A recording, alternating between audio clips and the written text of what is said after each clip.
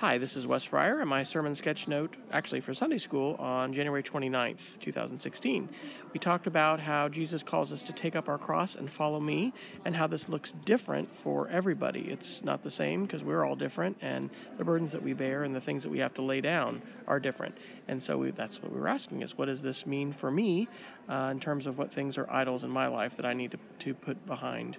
And put and cast aside. We talked about how Jesus um, told Peter to get behind him, uh, Satan, and that we're all tempted and we're challenged to focus on God's concerns rather than just human concerns, and that really should be our focus.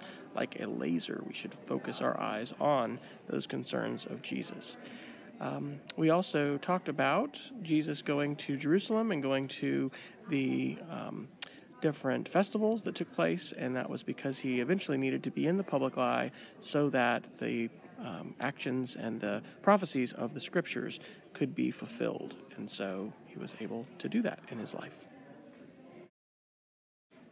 Hi, my name is Rachel, and this is my sermon sketch note of today's.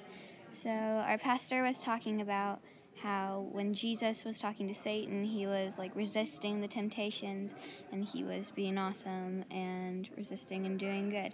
And he also took his two disciples up on a mountain and was telling them that he's the Son and being really wise. And he also talked about looking behind the cross and that things will be painful, but it'll be good. And we're supposed to listen to God because he'll tell us things that we need to know.